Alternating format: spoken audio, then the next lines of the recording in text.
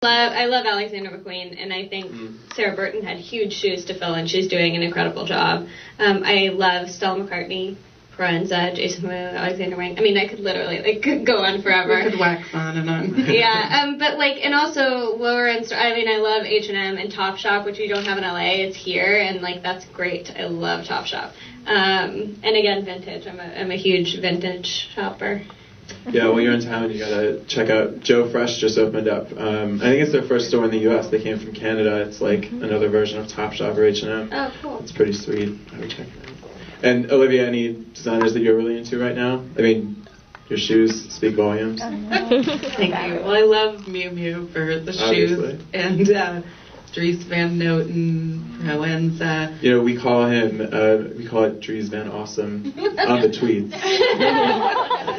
I'll have to get on board. I'm sure, I'm sure they know all about it over there. But I love the thrill of the hunt too, and I love eBay for you know good deals on things that sometimes seem out of reach, and and uh, thrift stores, flea markets, ASOS.com. Oh, ASOS is amazing because you can see how the clothes are, you know, you can see how they move because if you click on like a skirt and then there's a model walking down the, ru- the runway, Yeah. that's amazing.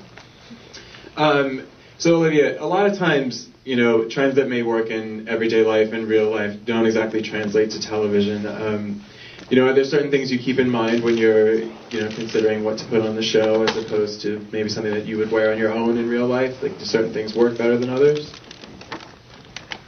I think the number one thing that doesn't work on TV is volume. You know, big, voluminous, flowy dresses. Well, even if it's like a liquid silk, it just mm-hmm. looks weird on TV. And fitted usually looks better than loose. Color looks great on TV, but sometimes, you know, you can OD on it in, in real life. Yes, it's are a few true. things. It's happened. I've had people call it ODs.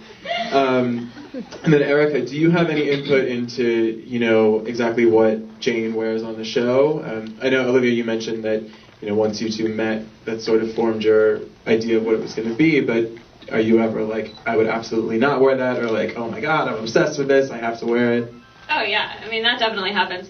The go- it's a, it's a real sort of collaboration, but Olivia, like you know, she said at the beginning, had created sort of mood boards for the character, and then as we talked, that those ideas blossomed, and you know, she'll bring in racks of clothes, and then we sort of mix and match, and it's a really fun process. And uh, and and I think you know, there's always things. I'm usually in love with everything, um, but uh, but she's also made me. She was like, just try those pants on. I wasn't like a huge fan of pants, I guess You were before. like I was like I didn't wear jeans, and and now I do. So there you go. And as Andie MacDowell would say, you gotta, Gotta put try it it on. but she's so right. Yeah, I know. I mean, even personally, I mean, this is pretty much. At Lucky, actually, they call this the Januza form, which is because I wear the same thing in different colors every day. But you know, I had a friend the other day. She was like, "You have to try this on," and it was a pair of pants that were not jeans, which I don't really do. But Did you get a rash? no, I mean, no allergic reactions to the corduroy. But you know, it was it was a new venture, and I think I'm I think I'm gonna take the plunge of it. So you always gotta try. Um, so. Uh, Olivia, is there? Can you talk about you know the differences between working on a show like Jane by Design and maybe something that you would have done with Entourage or other projects?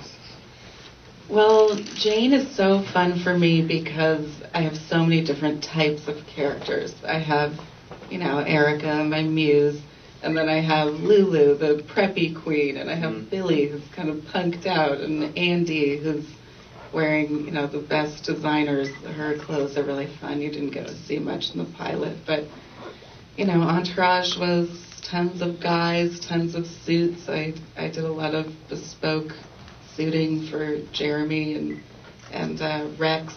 And then the women, it was it was tight and it was bright. so many bandage dresses. Yeah, she. I, I will Olivia's a genius because we have a huge cast, and it's a cast, a huge cast with very large wardrobes, and she has really created like very distinct personalities for each and every one of us, which is awesome to watch. It's really, it actually also, it what's really great is like you'll see these huge burly grips on set who are you know moving the equipment or doing the lighting, and they'll come up to Olivia and they'll be like, Olivia, I really liked Erica's dress today. you know, it's like everyone on the set has become more educated, which is really fun. Uh, so, do you have any favorite outfits from the show? Oh my gosh, I like so many of the outfits. Um, there's a there's a green. What is that? Green skirt? Is that vintage? Yes, it's a vintage crinoline, bright emerald green. That's one of my Yeah, favorites. with a too. little cropped like motorcycle jacket, leather jacket. That's really great. And then I wore one of Jane's outfits to to like this another event that we did. These tweed pants, which I would have never put on myself, and I fell in love with. That have suspenders and like a little collar top. It's very um, Katharine Hepburny. Nice. Um,